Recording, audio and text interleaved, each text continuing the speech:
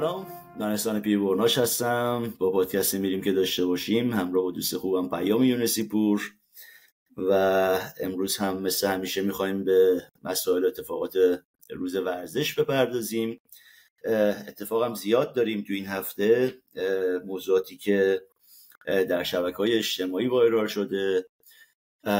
به صلاح تریبون های نفرت پراکنی صدا و سیما عمل کرده تیم های مختلف ورزشیمون در المپیک و مسائل دیگه ای که بهشون خواهیم پرداخت من یه سلامی بکنم به پیام یونسی پور و بعد از اون یک خبری بدم خبر تکمیلی بدم درباره اردوی پرسپولیس خبری که بعد از پادکست قبلی به دست ما رسید. پیام جا سلام.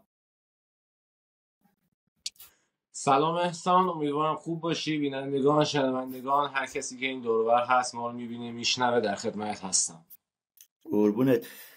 پیام من یه بعد از پادکست هفته قبل که درباره اردوی پرسپولیس صحبت کردیم و کلا درباره بازی تدارکاتی یک پیامی گرفتم یک خبری گرفتم خیلی موثق و به صلاح این اردوی باشگاه پرسپولیس به خصوص طبق اسنادی که این دوستمون ارائه کرده قرار بود بازی های دوستانه ای داشته باشه با بشیکتاش و تیم کایزری ترکیه.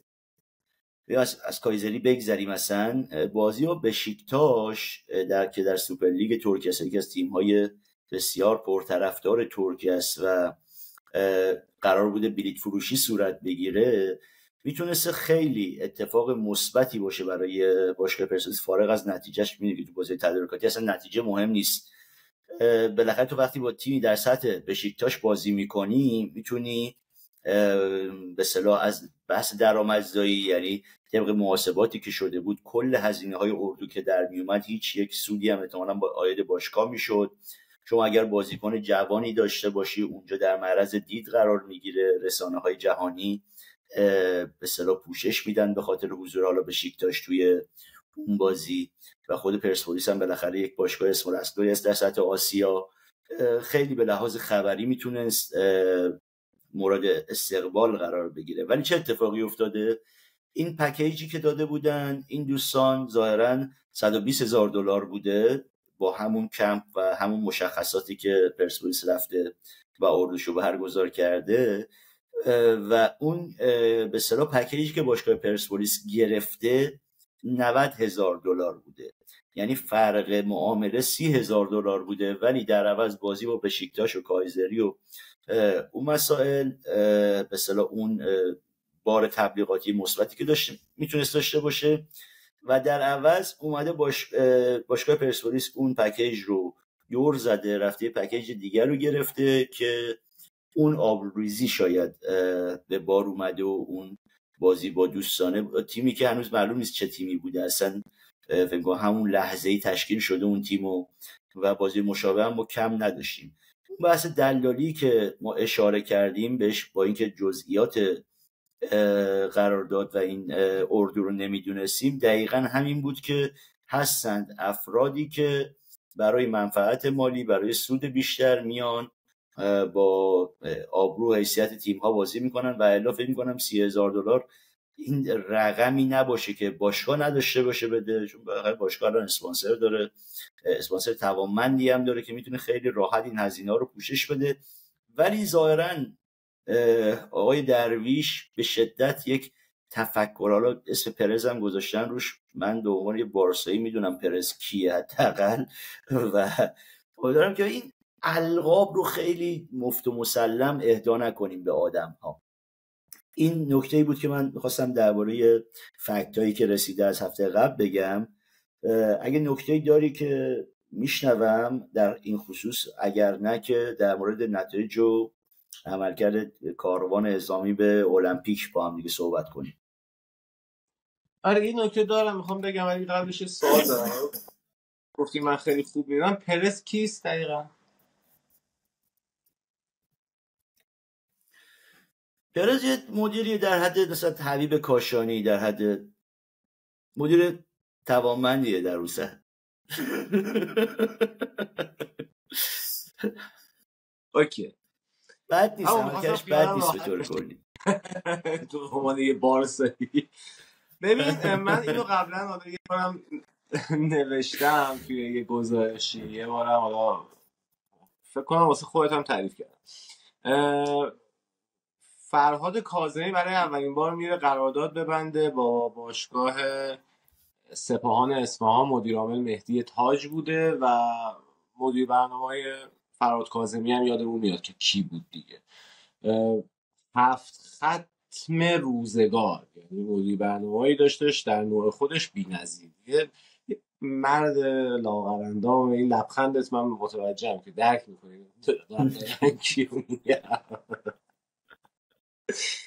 و یعنی حتی چند تا فرشته رو بر پروردگار انداخته بود. مثلا گفته بود اینا فرشته خدا گفته بود اینا فرشته نیستن. اینا مثلا کلوخن گفته بود نه اینا رو بخر به کارت میاد. خدا رفته بود ازش خریده بود. این رفته بود و قرار تموم کرده بودم. می‌خوام بگم که مدیران باشگاهی ما کیان. بعد رفته بود پیش فراد کاظمی. گفته بود آقا فلان گفته بود آقا من مشکلی ندارم من پولتو میدم. ولی مهدی تاج گفتش که حاجی گفت با من حساب کتاب بکنه. این رفته بود پیش مهدی تاج. مهدی تاج گفته بودش که حاجی ما این چای رو می‌خوریم که این قند کنارش رو بخوریم. چای فرهاد کاظمی است اون چیزی هم که تو می‌خوای این قند است. حالا من بخورم یا تو بخور ماجرا اینه که شما میری یه پکیج 100 هزار دلاری میری به باشگاه پرسپولیس باشگاه سپاه باشگاه استقلال باشگاه مثل رفسنجان به هر کدوم از اینا میگی که آقا من با 100 هزار تا تو رو به ترکیه با بشیکتاش هم بازی می‌کنی. من میام بهت میگم احسان من با یه پکیج 60 هزار تایی می‌برم. 40 هزار تا به مردم بگو صرفه جویی کردم. از اون 60 هزار تایی که هزینه می‌کنی هم 30 تاش مال توه. خب تو کدومو برمیداری؟ مدیر عامل درست و حسابی باشی خب اولی رو برمیداری. مثلا پرس. اگه هم که مثلا در حد این مدیران باشگاهی باشی که تیماشون میرن مثلا دیشب رفت توی یه بازی مزخرفی باخت. تو خوردی. سه هیچ. به موناکو باخت. واقعا نمی‌دونم واقعا اشکال نداره میایم تو لیگ جبران حالا بحث خارج نشیم. مسلمه یعنی یه پکیج 100 هزار تایی هست. بدون منفعت مدیر عامل و هیئت مدیره و دلال یه پکیج 60 هزار تایی هست. بسیار کیفیت پایین با تیم ناشناخته. بازیکن‌ها با شکم‌های گنده بیان وسط زمین. ولی خب مدیر عامل 30 30 هزار تا 35 هزار تا ممکنه بده این بودش نکته من. من در خدمت هستم. دمت گرم. ببین یه عملکرد ورزشکاران ایرانی رو می‌خوایم بررسی کنیم. اول در مورد کیمیا علیزاده حرف بزنیم. در مورد سبا شریعتی حرف بزنیم. و به اصطلاح ایرانی هایی که برای تیم های مختلف بازی کردن سبا برای آذربایجان و کیمیا برای بلغارستان بازی کرد.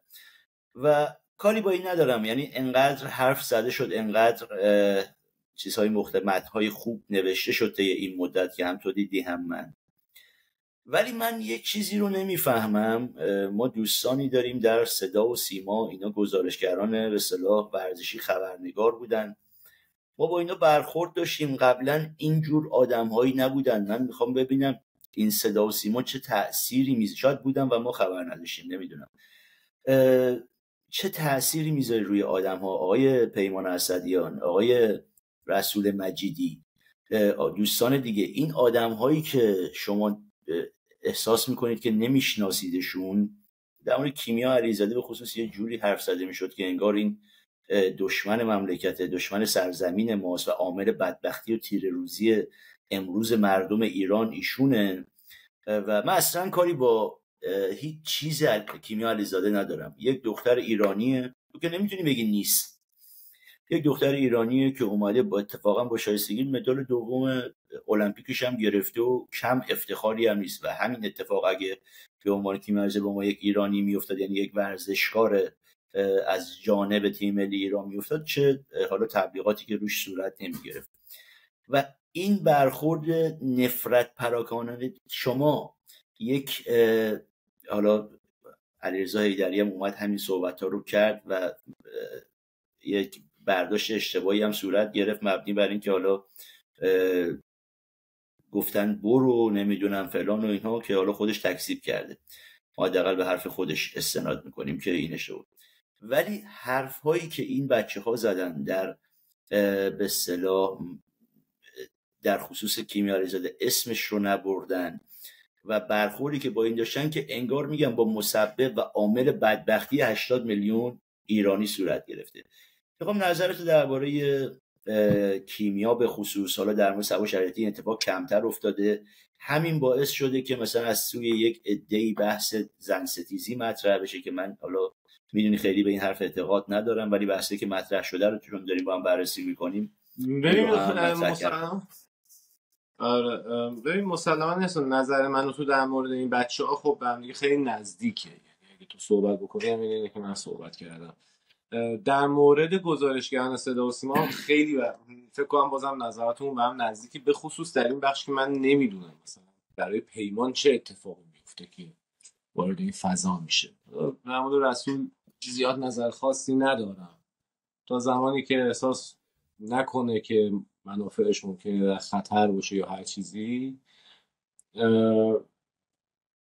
با شاهزاده رضا پهلوی هم میشینه فالودهشو می‌خوره. ولی احساس بکنه که این فالوده خوردن ممکن مشکل داشته باشه دو تا فوش هم بشه و ببین من می‌خوام اصلا ماجرا رو یه, یه جور دیگه ببینم. با اینو تو پرانتز بگم. من من من مبنا رو مثل خودت می‌ذارم رو حرفایی که علیرضا ایدری زد. و ما میپذیریم که علیرضا ایدری گفتش که منو بیرون نکردم. من خودم خسته بودم می‌خواستم برم. من شخصا خودم اگه الان توی این پادکست مثلا به احسان گفته باشم احسان بعد دقیقه مثلا 15 من می‌خوام برم. خب کار دارم. مثلا غذای حاجت دارم. هر چی. من دقیقه 15 می‌خوام برم. تا دقیقه 15 من بخواد خدافظی کنم من چشام مثلا گرد نمیشه بگم. خب الان این میکروفون رو خودم در بیارم. چجوری برم؟ چیکار کنم؟ از کجا برم؟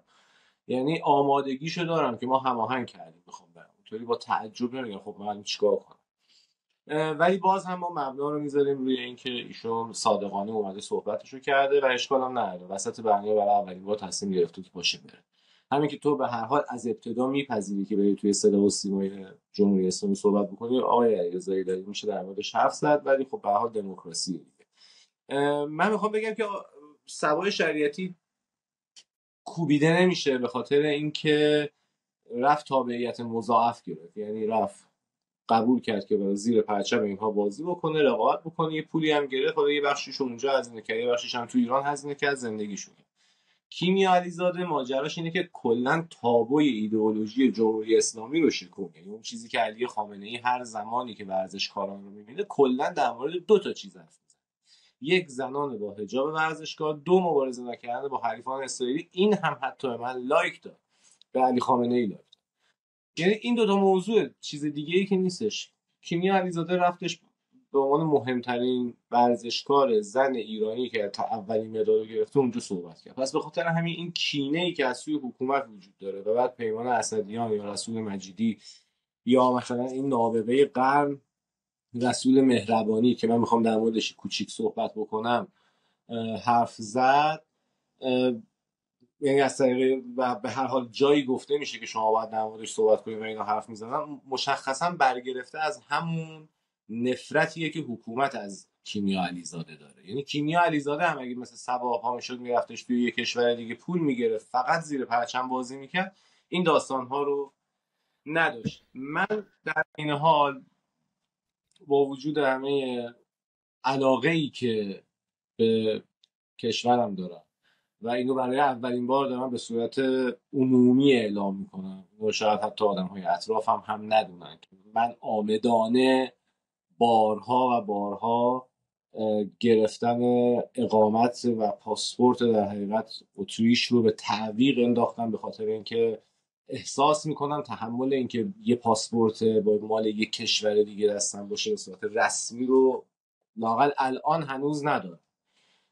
ولی اینو اینو واقعا بهش باور دارم که آدم ها می‌تونن انتخاب من شاید باشم که دلم نخواد خونم بعد پنجاه سال عوض کنم. یا آدم هایی دوست دارن که هر روز خونم عوض یا آدم هایی دوست دارن از کشورشون به خاطر اینکه بهشون ظلم شده فرار کنه یا آدم هایی دوست دارن به خاطر اینکه وضعیت معیشتیشون مناسب نیست برن. ما یک کمی انسان باشیم دیگه.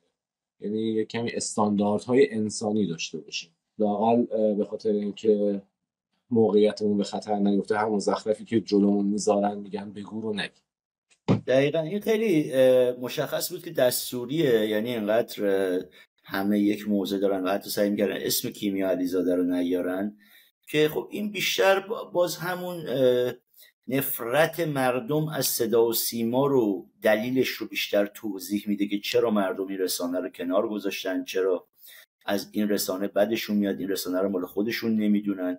و اگر میگم اگر شما باعث میشید یک سری آدم کشور خودشون رو ترک کنن اون هم به با همه عشق و علاقه ای که دارن قطعا باید ایراد رو در جایی بین خودتون پیدا کنید. نه در موهای دختری که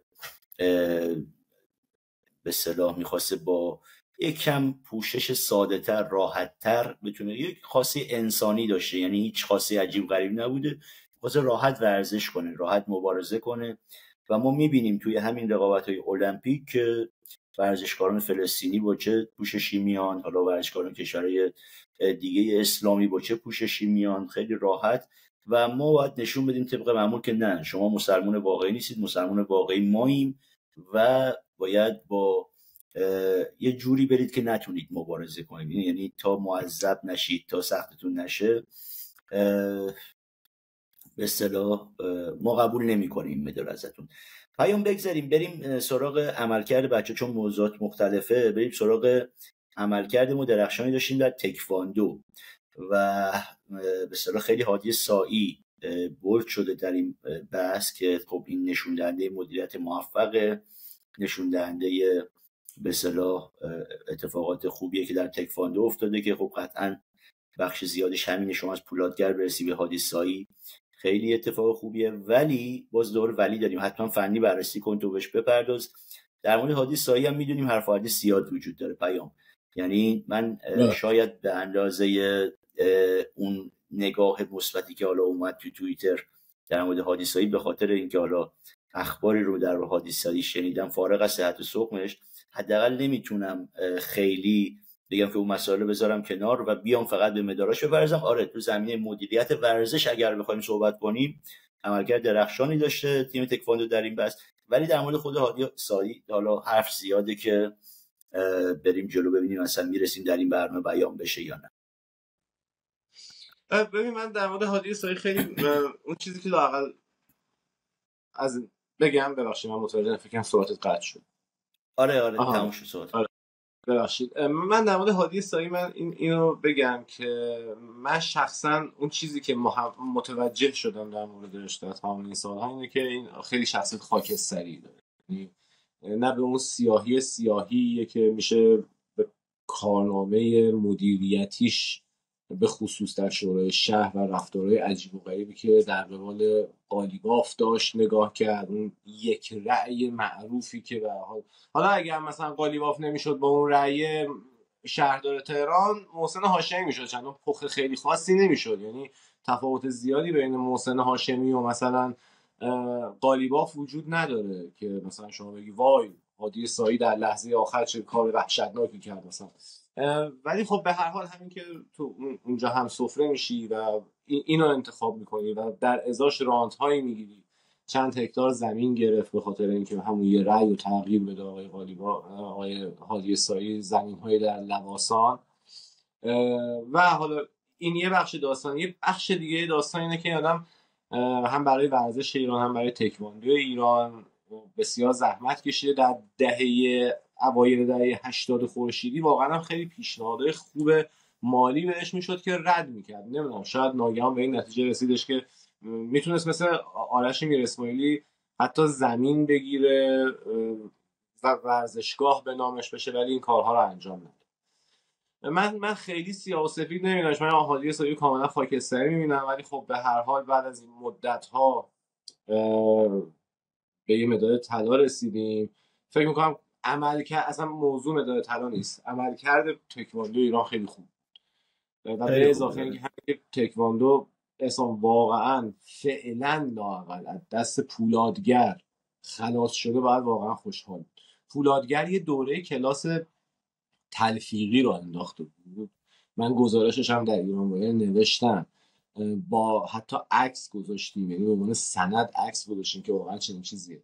مسابقات تلفیقی تکواندو پونسه و قرائت قرآن. یعنی مثلا نگاه کن این یورو میاد میشه واه! اینجوری دو تا حرکت اینطوری می‌زد می‌رفت میشه پای قرآن. مثلا مثلا اعوذ بالله القاره القاره چی فکر کردی با خودت مرد؟ یعنی تو چقدر دیوانه ای یعنی هم به اون قرآنی که بهش اعتقاد داشتی یعنی بی احترامی کردی هم به این ورزشه بی حرمتی کردی. اصلا تو واقعا فهم مدیر تراز جمهوری اسلامی در همین حد پیام. یعنی واقعا یعنی من بعضی وقتا میگن بچه آقا فلان اتفاق افتاد میگم خب همینه دیگه. یعنی مثلا در مورد چه می‌دونم درویش هم مثلا یه سری مثال ها زده میشه. میگم آقا این مدیر جمهوری اسلامی به طرف قانع میشه می‌دونی؟ یعنی انقدر راحت آدم ها با این قانع میشن من دیگه تلاش نمی‌کنم هیچ فکتی بیارم. آقا این مدیر تراز جمهوری اسلامیه و همه میپذیرن. من قانع شدم دیگه. من واقعا قانع دقیقاً. ببین بگو. آره بگو بگو. و میگم همین که از دست این جانور عجیب و غریب واقعا راحت شده. یعنی تو پولادگر کی بود که تکواندو کارها باهاش نمی ساختن زنان تکواندو کاری مثلا مثلا همین کیمیا علیزاده اینو نساختن باهاش. از اون طرف علیرضا دبیر هم نمی‌تونست باش بسازه. یعنی یکی از جنس جنس خودش. پوست و استخون در خدمت حکومت و نظام. آخر گفت بابا این بچه آخونده این آخونده این می‌تونه از این دروغا بگه. من نمی‌تونم بگم. وسط مجمع. یعنی دیگه همه دوربینا رو ضبط کرد. ولی همین که به حال بله. شر اون آدم فعلا ورزش تکواندو ایران خراب شده به این مدرسه ناهید کیانی چنین عملکرد درخشانی داشت و دمش گرم دستش درد نکنه. واقعا با وجود اینکه بهش گفته شده بودش که آقا نکن. زیاد با این حریف ایرانیت با دو بنده بگم دو بنده. با چیز آبی مثلا خوشو بش نکن و خوب نباشه و رفتار صمیمی نداشته باش. ولی در پایان هم دیدیم که چجوری واقعا هم دیگه رو بغل کرد. تکواندو که فوق العاده بود. کشتی فرنگی اونم واقعا فوق العاده بود خودت که در موردش استادانه حرف می‌زنی. فقط من متاسف شدم واسه واقعا کشتی آزاد. من فکر می‌کردم حداقل دو تا طلا بگیریم. یه مقداری هم بدشانس بودیم هم همش دیگه. ببین کشتی فرنگی رو بریم تا برسیم اول عملکرد خوب ها رو بریم به صلاح. کشتی فرنگی واقعا فراتر از حد انتظار ظاهر شد. ببین تو می‌دونی ما همیشه در کشتی آزاد مدعی بودیم. کی توی کشتی فرنگی مدعی شد از وقتی محمد بنا اومد به صلاح یک تحرکی به حمید سوریان رو داشتیم. خود حسن رنگرز رو داشتیم قبل از حمید سوریان. اینها اومدن بله. کشتی یعنی مدال ما حسن رنگرز بود. فکر می‌کنم پنج تا مدال داره ولی حسن به صلاح حمید سوریان پنج تا طلای جهانی داره اگه اشتباه نکنم درست بگم؟ من سرچ بله. نکردم فقط طبق حافظه قبلیم بله. دارم میگم. سوریان یه و... پنج مدال جهانی. بله. و ارزم به حضور که از اون به بعد شروع شد مدال یعنی از محمد بنا نباید فراموش کنیم. محمد بنا خیلی آدم عجیب غریبیه پیام. خود محمد بنا شاید یه برنامه جدا میطلبه طبق همه آدم هایی که ما میگیم اینها رو باید براشون برنامه جداگونه رفت و نمیریم. محمد بنا یکی از اون آدماییه که میشه براش برنامه جدا رفت ولی با نمیریم. خیلی بسیار آدم لوتی و با مرام و با معرفتیه و یک استبدادی هم داره. یعنی این نکته مثبتش خیلی آدم با حالو به قول معروف مشتیه. ولی یک استبدادی هم داره که بعضی ها میپذیرن. این استبدادی که می‌خوام بگم رو برای اینکه برای همه برای مخاطب راحتتر جا بیفته خود رسول خادم هم داشت. رسول خادم اصلا باب کرد که رئیس فدراسیون به صلاح سرمربی تیم ملی هم باشه و اون عدم اعتمادش به یه سری آدم ها و فلان و اینها از همون استبدادی میومد که رسول خادم یه استبداد گاهی می‌تونه خوب باشه گاهی می‌تونه بد باشه.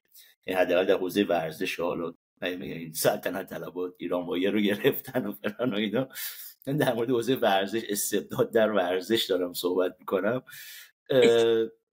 و این استبداده واقعا میگم خود محمد بنا هم من چون یک دوره خیلی توی خانه کشی رفت آمد داشتم. کشی همیشه مورد علاقم بوده. می‌رفتم اونجا می‌دیدم. و اگر این اخلاق محمد بنا نبود در گاهی اوقات خبرنگاران و به صلاح فعالان کارشناسان حوزه کشتی دوست داشتن ترکیب تیم ملی اون موقع مشخص کنن. پیام. خیلی جو عجیب غریبی من تو خبرنگاریم. سالها کار خبری کردیم. ولی شاید ندونی خبرنگاری تو حوزه کشتی اصلا یک دنیای دیگه است. یعنی یک مافیایی داره حوزه کشتی خبرنگاری حوزه کشتی که واقعا باید خیلی جنگجو باشی که امثال آقای مثلا پیر ایرانی و نمی‌دونم دوستانشون اون پیشکسوتان به صلاح حوزه خبرنگاری شما رو پس نزنن و بتونی اونجا دووم بیاری. دوستانی که اونجا بودن عملا خب به صلاح جوری برخورد می‌کردن که آقا فلان کشتگیر نباید باشد فلان کشتگیر باید باشد. تو چرا انتخابی تو اینجوری برگزار کردی؟ چرا اونجوری؟ نه به عنوان خبرنگار سوال کنن ها که آقا خب قضیه انتخابی چی میشه؟ آیا برگزار میشه؟ نمیشه؟ فلان. حالت دستوری که آقا نه این اصلا تو داری اشتباه این کار باید بکنی. این کار بکنی نتیجه نمی‌گیری. ما فلان می‌کنیم ما به سال می‌کنیم. حالا با چه تیراژی؟ یعنی یک اعتماد به نفسی هم داشته. خب حتی بعضا تو رادیو هم بودن یه سری از همون دوستان پیشکسوت و می‌خوام حالا خیلی نمی‌خوام به این بحث بپردازم. فقط می‌خوام بگم که یعنی استبدادی که توسط محمد بنا وجود داشت یک دلیلش مبارزه با همون دوستانی بود که اونجا واسه خودشون لم می‌دادن گوشیا نگاه می‌کردن و فکر می‌کردن که از سرمربی تیم ملی بیشتر می‌فهمن. و این رو میگم رسول خادم به شکل دیگه داشت. و ما از اونجا شدیم مدعی کشتی فرنگی یعنی مدال آوریمون از دوره محمد بنا شروع شد. پس این آدم در عرصه کشتی ما آدم بزرگی حالا چه خوشت بیاد از محمد بنا چه نیاد حالا یکی مثل من خوشش میاد یکی شاید بدش بیاد. ولی کارهای ماندگاری کرده باید مثلا به این آدم احترام گذاشته بشه. نکته جالب برای من تو این دوره این بود که حسن رنگرز برخورد خیلی دوستانه و متشخصانه ای داشته بازم. یعنی برخوردی که حسن رنگرز چه در مقابل سبا شریعتی که حالا اومد و بعیدم نیست که حالا خود میرزازاده رو فرستاده باشه بالا و بعد خودش هم اومده باشه همراهش. یعنی اینها با یک هماهنگی صورت گرفته. اومده اون ورزشکار رو همراهی کرده و این نشون دهنده شخصیت هیچ وقت هیچکی نمیگه آقا تو چرا مثلا رفتی یه کشتیگیری که تو زیر یه پرچم دیگه داشته مثلا کشتیگیر ایرانی داشته زیر پرچم دیگه به صلاح تلاش می‌کرده رو اومدی رفتی باش پولش کردی فلان کردی بسار کردی. و این هاست که اتفاقا می‌تونه شخصیت بده این شخصیتی که عریضا دبیر به شیوهای مختلف سعی می‌کنه از کشتی بگیره رو همین حرکات همین کارهایی که امثال حسن رنگرز می‌کنن می‌تونه به تیم ملی تیم های ملی کشتی ما برگردونه. و برخلاف حالا تیم آها درباره نتایج باز توی صحبتی بکن من برگردم بریم سراغ کشتی آزاد. دو تا طلا گرفتیم 67 کیلوگرم سعید اسماعیلی که واقعا مقتدرانه داره. از اول تا آخر تارمار کرد و رفت گرفت. و محمد ساروی که به نظر من هم فن داشت هم تکنیک و شعور کشتی گرفتن. خیلی فوق العاده بود. و واقعا خیلی لذت بخش بود. فکر می‌کنم که واقعیتش اینه که در مورد محمد ساروی اون, چیزی که یه کمی ناراحت کننده است که مدال طلا گرفت اینه که خیلی دیده نشد. استنباط شخصی من یعنی من, من تصور می‌کنم چون همه منتظر بودن که به زودی یعنی محمد ساروی که داشت کشتی می‌گرفت حسن یزدانی ها شروع کرد. یعنی این داشت می‌رفت طلا بگیره اون شروع کرد و بعد همه چیز تحت تاثیر این قرار گرفت که حسن یزدانی رفت فینال. او این طلا رو گرفت. یعنی در, در, در همین حد موندش. اون حماسه سازی هم وجود داشت من فقط یه نکته رو بگم. وسط صحبت هم در مورد این دو تا طلا صحبت کردم. ببین اگر می‌خوایم به این درک برسیم که حالا تو بهتر از من داستان مافیای کشتی رو می‌دونی. من مثلا سالها قبل خیلی دو بیش از دو دهه پیش که در حقیقت یه کمی آشنایی داشتم با بعضی از کشتی نویس ها اینو واقعا درک می‌کردم. تازه اون پیشکسوت بودن خیلی با فهم و شعور بالاتری هم بودن نسبتا. و اینو واقعا حس می‌کردم که چنین چیزی هست. اما صحبت های هادی عامل وقتی که میکروفونش بازه. بازه و نمی‌دونه. اگر ندیدین به خاطر اینکه صدا خیلی کم و متخصی نیست بهتره که این بعضی از وبسایت ها و صفحات اینستاگرامی داخل ایران هم اینو منتشر کردن. مثلا ورزش مدیا. می‌تونید برید تو اینستاگرام ورزش مدیا ببینید که وقتی که این پسر باخته تموم شده رفته اومده داره شروع کنه صحبت کردن که آره من می‌دونستم این عین آدمک بارانداز می‌کنه عین آدمک بعد وقتی همون آدم همون آدمک به قول خودش روی توشکه میقره شیر ژیان نمی‌دونم رستم دستان این مادرش تهمینه پدرش اسفندیار بابا خجالت بکش مرد گنده. با این سن و سالت حالا مثلا رسول مجیدی یه کاری می‌کنه آدم میگه جوون آینده داره خرج زندگی داره. تو دیگه بابا با این سن و سال خجالت که شرم کن. اگر این حرفا رو می‌زنی شیر ژیان و مادرش تحمیل پدرش نون آره. فلانی حلاله. لاعقل لاقل روی میکروفون بسته یا بازم این حرفا لاقل این لقب به نقره المپیک نگو. احسان یارو نقره المپیک گرفته بهش میگه آدمک. بله, بله. شرماوره. تا اینجایی من درباره این دوتا طلا و هادی عامل حالا حرفت که تمام شد من بگم بعدش بریم سراغ بقیه مدال. ببخشید این فقط بگم. این رسول مهربانی نفرت انگیز رو دیدین دیگه که گزارشگر تکواندو بود. چه جوری گزارش آره. می‌کرده من نمی‌دونم. آیا واقعا من ازش واقعا این سوال دارم. اون همونقدر که تو برای ماها نفرت انگیزی ما هم برای تو نفرت انگیز هستیم یا نه؟ ما کلا همه مردم. چون تو واسه قالب مردم به جز مدیران نفرت انگیزی. این رسول مهربانی پشت دوربین در قبال ناهید کیانی در قبال تک تک ورزشکاری که براشون گزارش کرد همین هادی عامله فکر نکنین که میان جلوی دوربین اربدی می‌کشه بشو پاره می‌کنه بعد پشت سرم همینه. نه. اینا وقتی تازه هادی عامل خوبشونه. میرن پشت دوربین میشه همین آدمک بارانداز خورد و فلان. ببخشید واسه صحبت قبلا تو حوزه فوتبال هم داشتیم دیگه. وقتی دوربین به صلاح میکروفون باز بود سر یکی از بازی های ملی این گاف رو داشتیم که اون جمع کارشناس چه چیزهایی می‌گفتن درباره فوتبالیستا. ببین ما سعید اسماعیلی رو داشتیم. سعید اسماعیلی اون فن عجیب رو خورد. وقتی فکر می‌کرد کشتی تموم شده قبل از مسابقات المپیک. از کشتیگیر کوبایی. وایرال میشه چقدر سرزنش شد چقدر حرف خورد که شاید بد نشد براش. یعنی یک بله. تلنگری خورد که بر... اگه همین فن رو می‌تونست توی المپیک بخوره.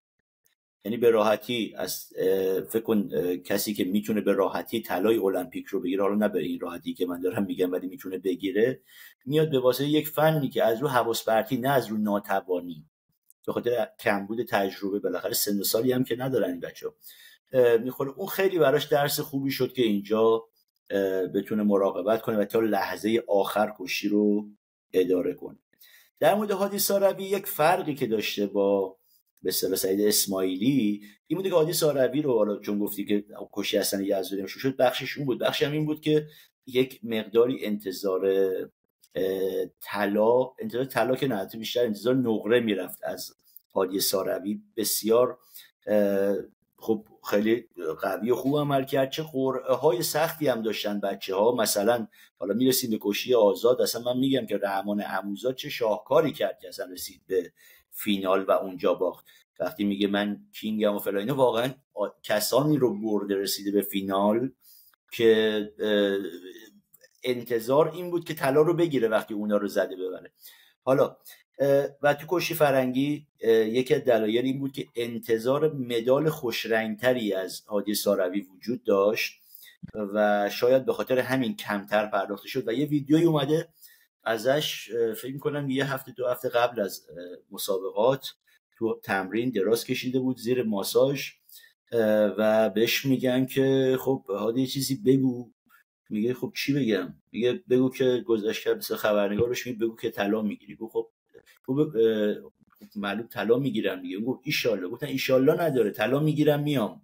یعنی قبل از این اون جمله منو یاد جمله معروف امام علی حیبی انداخت که گفتش که من به شاه گفتم من میرم طلا رو می‌گیرم و میام و گرفتم و اومدم. این جمله ای که به صلاح ازادی ساربی اومد و گفت ایشالله نداره که خب میرم طلا رو می‌گیرم و میام. من یاد اون انداخت و چقدر خوبه که ورزشکاری با این حد از اعتماد به نفس داشته باشیم.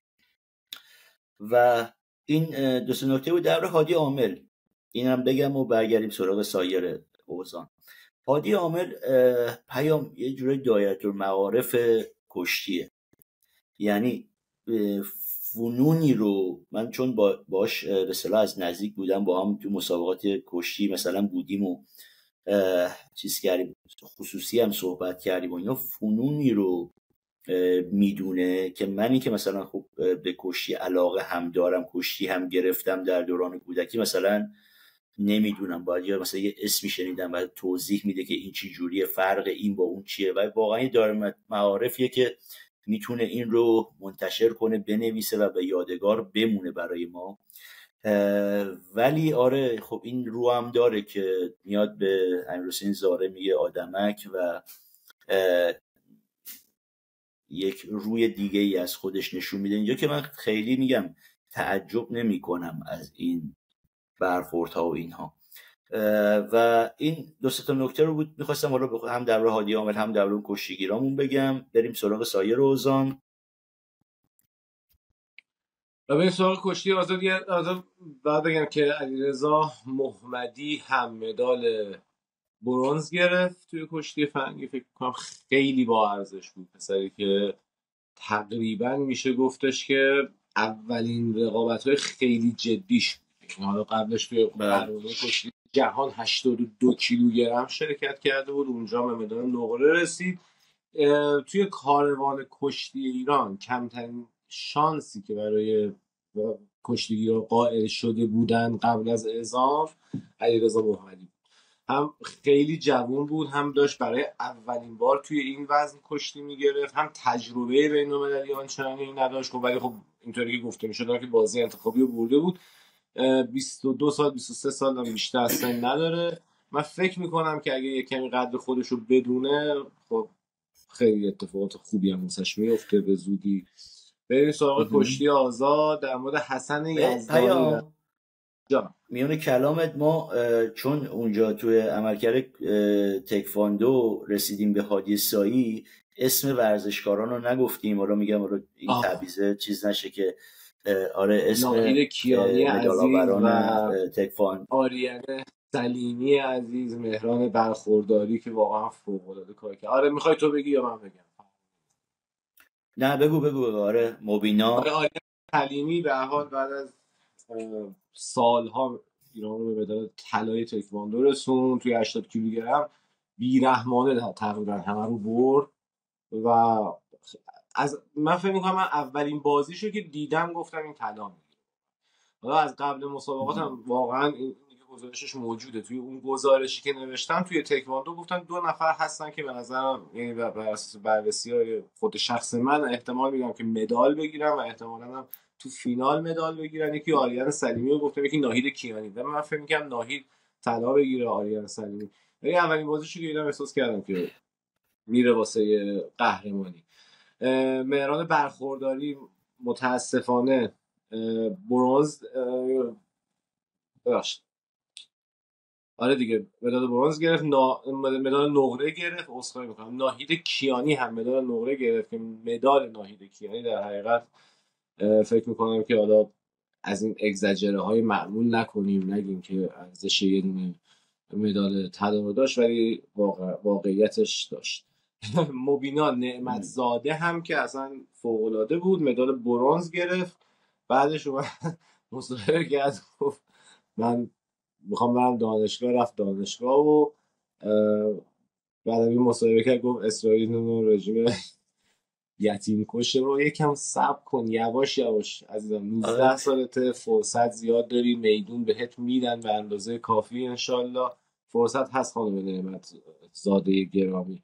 به همه اون چیزایی که مد نظرت هستش با زور بازوت هم می‌تونی برسی. اگه هم نخواستی خواستی میون بول بزنی بازم یکم سب این از هستن دوستانی که اونجا به یاد میدن. ببین واقعا این من لذت می‌برم این بچه ها رو می‌بینم. یه امثال مبینا نعمتزاده که میاد اونجا. اون فن قشنگ اصلا من ده بار دیدم پیام اونو. اینکه پا رو برگردوند. از پشت زد. من دیسکم دارم این صحنه رو می‌بینم. کمرم درد می‌گیره. می‌دونی حتی نگاه می‌کنم کمر درد می‌گیرم. چه برسه به اونی که می‌خواد بزنه اون فن رو. و پا رو اونجا برگردونه بیاره. واقعا لذت می‌برم. و ما می‌خوایم دوستتون داشته باشیم. کماکان میگم اجازه بدین دوستتون داشته باشیم. حتی این حرفا هم که می‌زنید باز هم ما دوستتون داریم. وقتی مدال رو تقدیم می‌کنید به امام زمان ما می‌دونیم که می‌خوای مدال رو پیش خودت نگه داری و تقدیم می‌کنی به امام زمان که به کسی ندی. باز هم دوستت داریم. ولی اصلا اگه دوست نداشتیم اینا رو نمی‌گفتیم یعنی اگه به آره. نمی‌گفتیم بگذاریم. بزرگتر میشید خودتون می‌فهمید چیکار کنید تو اصلا آدمی که می‌تونه اون مقام رو بیاره حتما می‌تونه یه رشته ای که هم توانایی شده داشته باشه هم به دردش بخوره رو پیدا کنه. تو اگه بخوای بری رشته پزشکی بخونی به هر حال اونایی که تمام زندگیشون رو گذاشتن وقف این رشته کردن دور از جون دور از جون. حالا چجوری دارن خودکشی می‌کنن چجوری باعث چه مشکلات و بیماری هایی برای اینها شده و همه اونها که تمام وقت دارن اون کار رو انجام میدن. حالا تو می‌خوای مثلا یک وقت کوتاهی هم بذاری که هم ورزش حرفه‌ای تو داشته باشی هم پزشکی. اولا که خب واقعا به نظر نشدنی می‌رسه اگر کسی بخواد در حد المپیک این کار رو بکنه. و حالا اگر هم بخوای بکنی فرصت زیادی نیازی نیست کسی اینو به تو بده. کسی که مدال حتی برونز المپیک رو می‌گیره هرچی بخواد رو می‌تونه خودش به دست بیاره. اون کسانی که دارن به شما این توصیه ها رو می‌کنند که شما جلوی دوربین این حرف ها رو بزنید رو اول از همه بذارید کنار. اونا قطعا دوستان شما نیستن. خیر شما رو نمی‌خوان این در مورد بچه های ما من واقعا خب میگم همه ما شاید از هر مدالی لذت ببریم ولی از مدال دختران ما هممون شاید یه جور دیگه لذت ببریم به خاطر اون تعینه هایی که قرار دارن بچه های دخترای ورزشکار ما. من می‌دونم به عنوان یک بچه که خودش مثلا روستایی خودم رو حساب می‌کنم می‌دونم در شهرهای کوچیک این بچه ها می‌تونن باعث چه شور و نشاطی بین دختران ما بشن و بقیه هم احساس کنن که دستیابی به این مقام ها به این مدال ها کار خیلی سختی نیست و واسه همین بیشتر برای من خوشحال کننده است. می‌دونی که من کلا اعتقادی به تحریم ورزش ایران ندارم. یکی از دلایلش هم همین هاست. اصلا کاری به این که مثلا رنگ مدال چیه یا نمی‌دونم پرچم کی میره بالا ندارم. اون یه بحث دیگه یه باز که ما ببینیم مثلا ما پرچم جایگزینی مگه دادیم به اینها که بگی خب نه اینو نبر بالا اونو ببر بالا. یا اصلا خود کمیته المپیک مگه همچین اجازه میده؟ اون مال زمانیه که شو حکومت عوض بشه و بگیم که حالا این پرچمیه که افتخار آفرینه. تا زمانی که نیست. بله. ولی از اون برای یک چیز کلی هم نمیچینم دیگه. یعنی من نمیگم خب ما هر کسی که رفت مدال گرفت رو باید دوست داشته باشیم. هر کسی برای من حتی دو ورزشکار تو تکواندو ممکنه پیام متفاوت باشن. با مدال یکیشون عشق کنم لذت ببرم و از مدال یکیشون اصلا خوشم نیاد و حال نکنم با اون آدم حتی متنفر باشم از اون آدم. من نمی‌دونم چی جوری میشه که ما بیایم یک دستور عمل کلی صادر کنیم. یعنی این این بخش قضیه رو من نمی‌فهمم. دستور عمل کلی صادر کنیم که خب ما از تمام ورزشکارانی که میرن تو المپیک بدون ما از تمام مثلا ورزشکارانی که حالا برعکسش میرن تحت عنوان نام ایران دارن زحمت می‌کشن خوشمون میاد. ببخشید. این رو من نمی‌فهمم و حداقل برای خودم اینجوری نیست. من با یه ورزشکاری حال می‌کنم با یه ورزشکاری بیشتر حال می‌کنم با یه ورزشکاری حال نمی‌کنم و دوست ندارم اصلا مدال می‌گیره بهم نمیچسبه حتی منزجر میشم. این نظر شخصی خودم فکر می‌کنم بقیه هم اکثریت یه همچین دیدی دارن. حالا یه دم می‌خوان همه چی رو بیارن زیر یک دستورالعملی. که حداقل من زیر بار اون دستورالعمل ها نمیرم. بریم سراغ کشی آزاد. پیام. کشتی آزاد و اگر بخوام بگم من نتایج رو یعنی مدال ها رو میگم بعد دیگه خودت در موردش صحبت کن که گفتم رحمان امروزاد مدال نقره گرفت حسن یزدانی مدال نقره گرفت امیر حسین زاره خیلی من واقعا دوستش دارم نمی‌دونم چرا. مدال نقره گرفت متاسفانه نمی‌دونم. چرا اصلا یه, یه،, تیپیه که یعنی حرکات و رفتارش اصلا دوست دارم. بچه پر روی دوست داشتنیه. می‌بینی از این بچه پر روی کندشاور متاسفانه مدال نقره گرفت. من خیلی دوست داشتم. اینو بیشتر از یکی این بود یکی ناهید کیانی دوست داشتم طلا بگیرم. خیلی زیاده متاسفانه. نشد و همینطور امیرعلی آذر پیرا آذر پیرا هم به مدال برونز رسید. من اینو به خاطر این یکی موندم به خاطر اینکه من دارم از روی جدول مسابقات در حقیقت می‌خونم. خیلی بد نوشته. بعد همه بچه های ایران هم مثل من که اسمم یه پسوند اینقدری داره پشت یونسی پور هم تازه یه پسوند آره. داره. اینا اینا همه بعد اینا رو همه رو برام چسبوندن. مثلا حسن یزدانی همینطوری می‌بینم ولی اینجوری نوشته حسن یزدانی چارتی نوبه. من نوبه شو تا چراتی. چرا یکی از ییلاقات آره چرا یکی از آره، یزدانی ییلاقات سوادکوه آره، اشتباهی که کردن سایت خود رسمی می‌خونم آره. چرات آره چر... اصلا یزدانی کلا اصولا مال همون از همون ییلاق مال چرات سوادکو و خیلی هاشون پسرند دارن و همشون اینایی که جویبار هستن. رگوریشه سوادکوهی دارن گفتم اینجا حداقل یه چند تا مدال رو بیارم سمت خودمون. مدال در کشی آزاد بذاریم می‌خوای امیر حسین زاره و حسن یزدانی رو بذاریم آخر ساعت هم صحبت کنیم. از همین آذرپیرا شروع کن بعد بریم سراغ سایر بچه ها اگه موافق. بله ببین آذرپیرا که اصلا خب کشی اولش اصلا با قهرمان المپیک خورد و متز خیلی قرعه بعد سنگینی داشت. هم خودش هم میگم بچه های دیگه همینطور و به خصوص رحمان ارموزاد که به شدت خورد تمام قهرمان المپیک و جهان سمت رحمان بودن و واقعا هم با یک بیرحمین که میگن رحمان بیرم من واقعا کشی رحمان رو خیلی دوست دارم. یعنی آدم جنگنده اون چیزی که من از کشی انتظار دارم رو خیلی نزدیک به چیزیه که رحمان اجرا می‌کنه و به خصوص که اگه دقت کرده باشید مهدی تقوی کنارش بود به عنوان کوچ و اون زیرگیری های ناب خودش رو هم فکر می‌کنم به رحمان یاد داده بود و زیرگیری های رحمان هم خیلی اصولی و حرفه ای شده بود و این حالا هم ببخشید هم به خاطر رفاقتی که اصلا من خودم با مهدی تقوی دارم و علاقه که اصلا به کشی خود مهدی داشتم و همین که واقعا به خود کشی رحمان رو خیلی دوست دارم. خیلی به دلم نشست کشیاش و یک نکته ای که وجود داره در مورد رحمان اینه که یه مقدار زود شروع کرد. ببین این من میگم اصلا کری خیلی خوبه خیلی باحاله. من دوست دارم اصلا کری خونی رو تو ورزش ولی اینکه تو دقت کنی به این ریزکاری ها که آیا این کری که تو داری می‌خونی روی حریف رو ضعیف می‌کنه یا اون رو تقویت می‌کنه؟ می‌دونی چی میگم؟ یعنی جای اشتباهی کری خوندی به نظر من.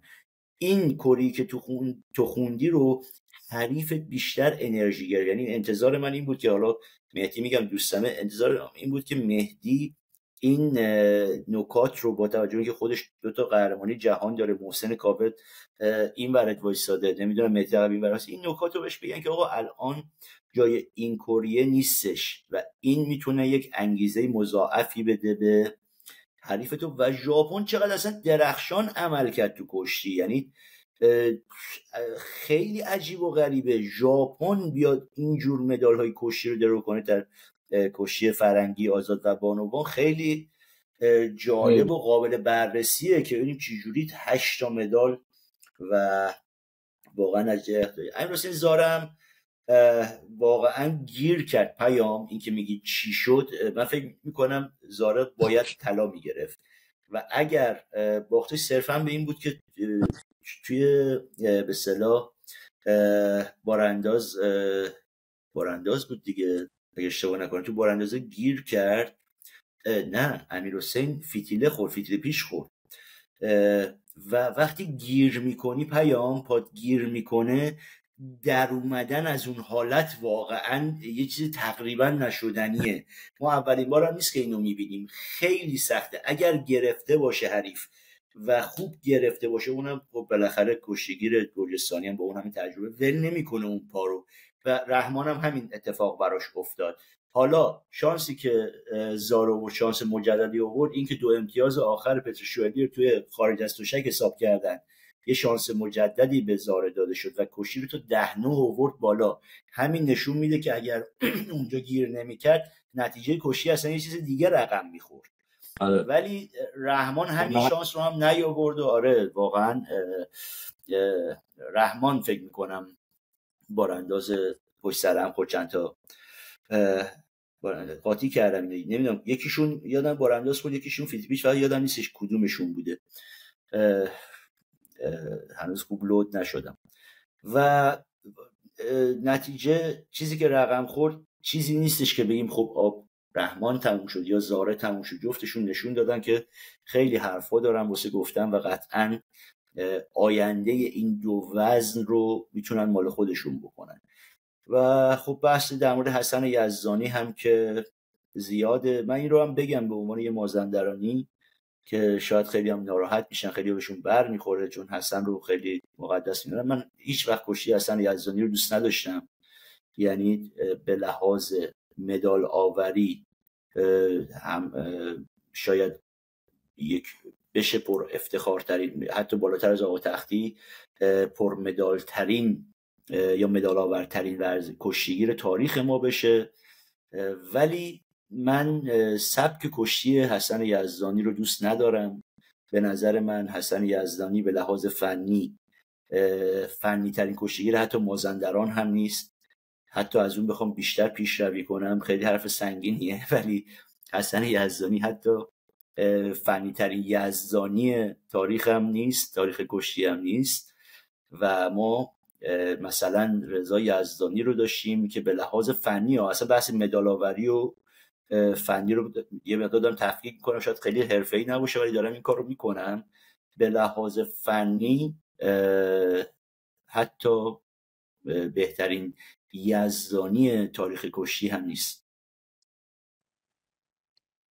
من در این مورد واقعیتش نظر خاصی نمیدم بخاطر اینکه ممکنه نظری بدم در مورد حسن یزدانی حالا بعدش دیگه بشه. ولی من در مورد فوتبال ببین مثلا تیری آنری جز بهترین بازیکنان تاریخ فوتبال نمیشه بله. که یکی. از در اصل خودش تیری آنری از بهترین ها این من هیچ وقت بله. فوتبالش خوشم نمیاد. یعنی این این سلیقه است دیگه. نمی‌تونی بگی که سلیقه بله. است. من مثلا مثلا میگم توی پرسپولیس من هیچ وقت از بازی مثلا توی حال نسل گذشته حسین عبدی خوشم نمیاد در حالی که آره. بسیار بسیار بازیکن. بله. خب، خیلی بازیکن تاثیرگذاری. ولی من مثلا محمد برزگر رو بیشتر از حسین عبدی میپسندیدم. این سلیقه آقا من اسم صحبت تموم شده یا میخوایی صحبت بکنی؟ اینو نه نه. من فقط میگم این بحثی که دقیقا بحث سلیقه است من دارم فنی کشی رو نگاه می‌کنم و انقدر من کشی کشتیگیر مورد علاقم عباس آشکناریه. این رو بگم که حالا شاید اصلا به لحاظ افتخار با حسن یزدانی اصلا قابل مقایسه هم نباشه. ولی تو بحث فنی من اون کشتی رو میپسندم. چرا رحمان اموزاد رو مثلا کشتیش رو دوست دارم؟ چون منو باز یه مقدار یاد عباس آشکناری میندازه یک 63 کیلوی اورجینال و حسن هم از 66 شروع کرد حسن یزدانی کشتی شد. و الان رسیده به 86 همه هم درو کرده یعنی ببین حسن با زور می‌بره. من حالا بخوام تایید فنی حرفام رو بگیرم. می‌تونم از علیرضا دبیر باز مثال بیارم که به خود من گفته باز تو رسانه ها و فلان و اینها که میگو آقا حسن روستایی کشتی می‌گیره. این روستایی کشتی گرفتن به چه معناست؟ یعنی اون موقع داشت یک مقایسه ای می‌کرد بین حسن یزدانی و مهدی تقوی. گفت مثلا خب مهدی یک کلاس جهانی کشتی می‌گیره و حتی مثلا روسها رو وادار می‌کنه که بیان فیلم مثلا کشیاشو ببینن یا حتی به زندگی خصوصی من بشن صاحب سبکه.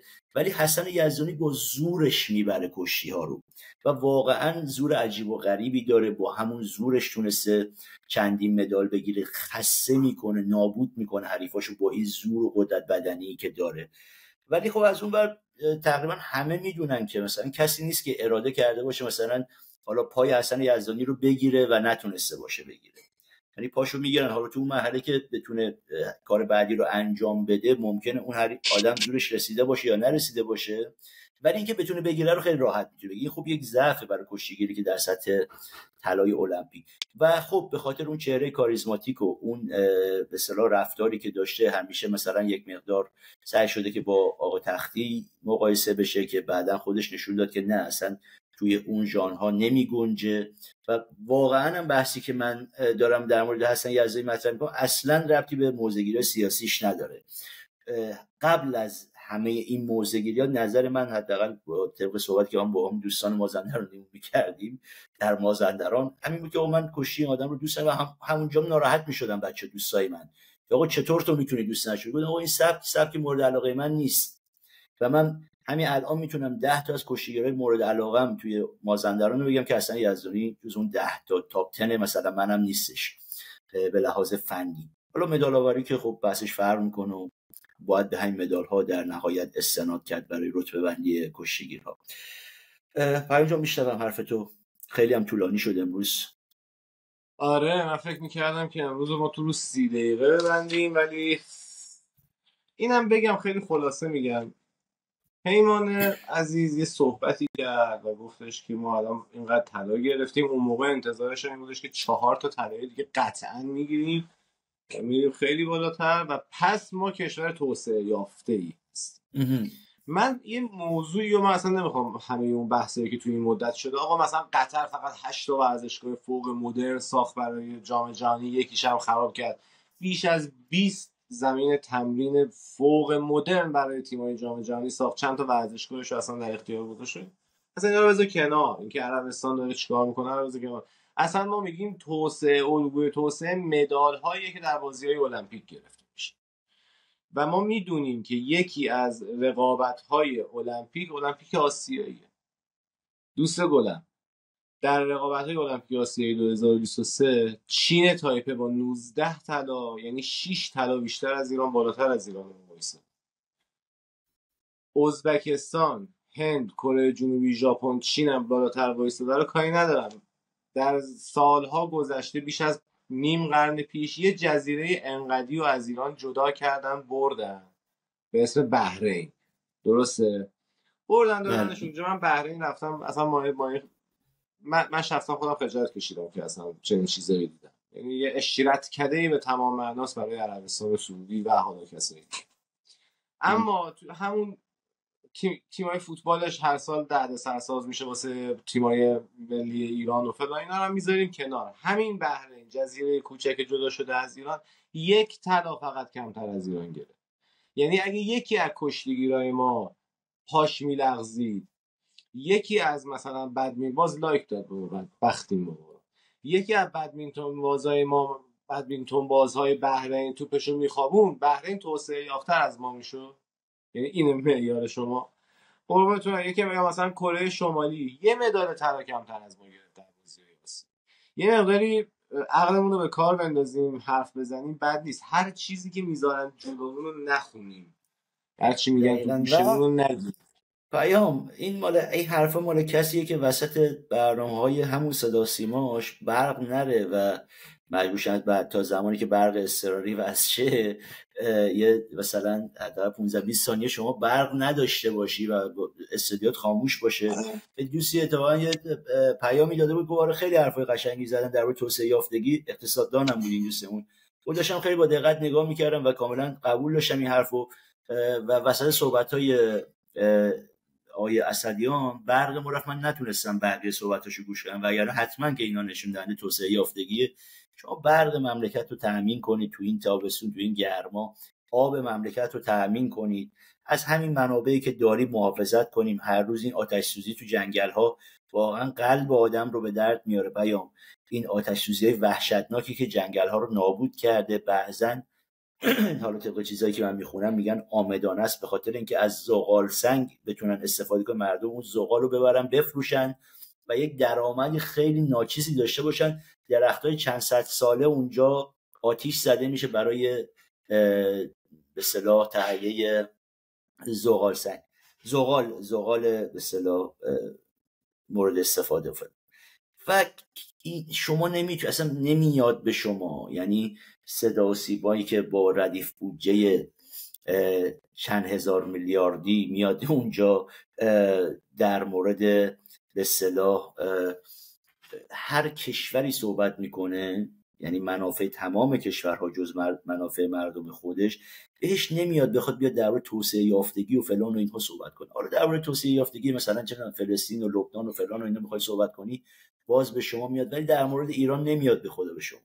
و ما چقدر توسعه یافته بودیم پیش از آمدن همین دوستان شما در هفت و به کجا رسیدیم؟ الان همین خودش جای مقایسه داره که آیا ورزشگاهی رو که اون خدا بیامرز ساخت شما حتی توانایی نگهداریش رو دارید؟ این حرف ها هم باز در همین صدا سیمای شما هم زده شده استقلال پرسپولیس و حتی تیم ملی در به در دنبال زمین تمرینی میگردن برای تمرینشون چرا؟ چون شما زمینی که ورزشگاهی که در از یک 18 ماه ساخته شده رو شما هنوز نتونستید نگ... انقدر بد نگهداری کنید که الان مورد استفاده شما هم نمی‌تونه باشه. و لیگ داره شروع میشه پرسپولیس زمین ندارن تیم ملی می‌خواد تمرین کنه باید بره اصفهان و نمی‌دونم قزوین و فلان. یعنی اصلا به شما نمیاد این صحبت ها و بیاید صحبت هایی بکنیم. واقعا منم با تو موافقم. هر چیزی گذاشتن جلومون رو نخونیم. آقای اسدیان تو بچه با سوادی هستی تو.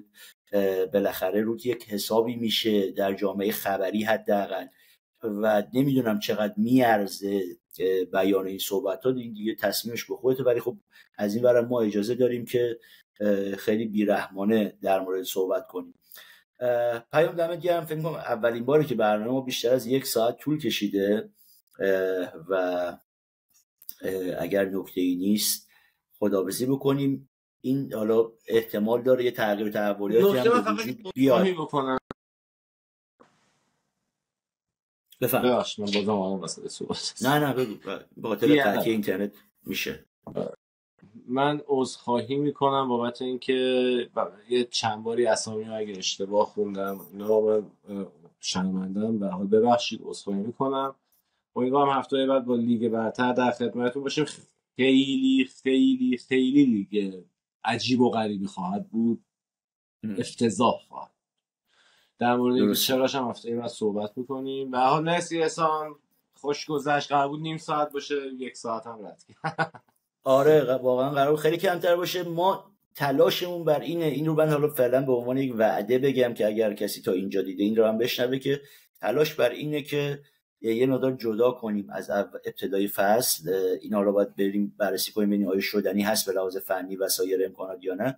تلاشمون برای اینه که از ابتدای فصل جاری لیگ برتر یه خورده برنامهمون بیشتر کنیم و کل رقابت های هفته لیگ برتر رو پوشش بدیم و در کنارش حالا به سایر ورزش در یک برنامه مجزایی بپردازیم. حالا باید ببینیم چقدر عملی میشه یا نه. در خدمتتون خواهیم بود. مرسی که ما رو دیدید شنیدید. دمتون گرم. خسته نباشید. خدا